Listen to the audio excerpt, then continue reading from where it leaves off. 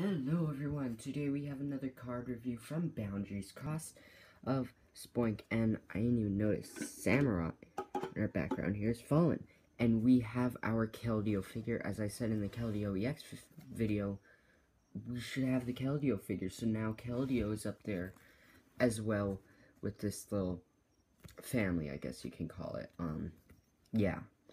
So, today we have Spoink from Boundaries Crossed, number 59 of 149.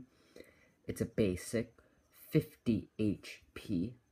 Has Flail around for 1 psychic. Flip 3 coins. This attack does 10 damage times the number of heads. So it could do 0, 10, 20, or 30. Um, most of the time it'll do 20. Um, I think. Odds. Yeah.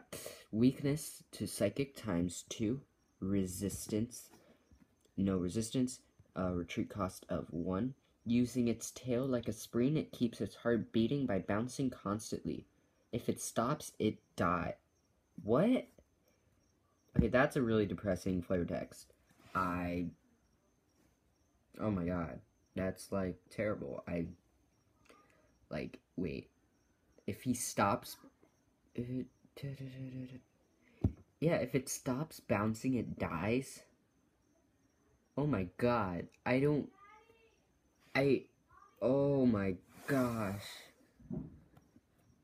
That sucks. it must have, like, really bad heartburn, though. Like, from all that bouncing, you know? Anyways. Um... It's number 325 in the Pokedex, the Bounce Pokemon. Again, yeah. Height 2 feet 4 inches, weight 67.5 pounds, and I always have to take a little out of the sleeve to see the illustrator name. Sumiyoshi Kizuki. Sorry if I'm pronouncing that wrong, but yeah. Just take a look at that artwork. Can't stop bouncing. What if there was like cards where like it's like printed cards with like gifts on them and pictures like always him anyways i'm going off on my imagination feels and stuff.